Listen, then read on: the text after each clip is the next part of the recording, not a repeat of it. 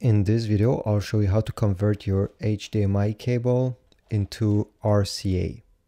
So this is very easy and it's mostly done if you want to connect to an old CRT TV, some newer devices. There's obviously many other projects that requires you to convert HDMI to RCA, so let's get started right away.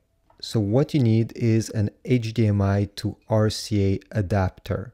Now I have two of them over here. They do exactly the same thing. Actually, I got this about five years ago and it stopped working after a while. So I bought this one, but both of these do the same exact thing. I'll put links in the description from Amazon if you're interested to get one of these.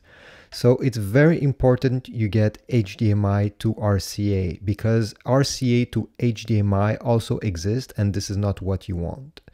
So you need to have a HDMI over here that is an input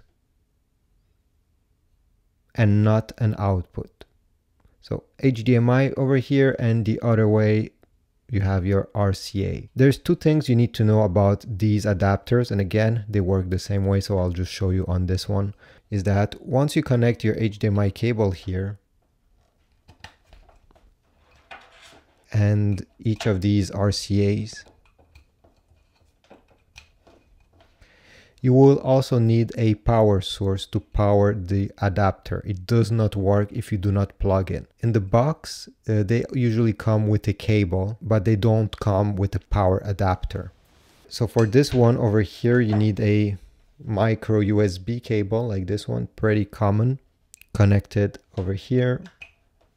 And you need uh, to connect it to a power brick could be 5 watts, even less. It's fine for this adapter, does not require much power and plug this into your wall socket.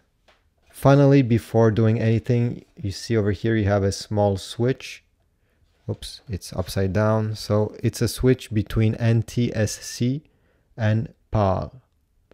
If you're in Europe, you're probably going to use PAL if you're in North America NTSC, it's the way to go. So just make sure this is switched in the right position for you. And this is it. You just converted HDMI to RCA. This way you can use it with older analog devices.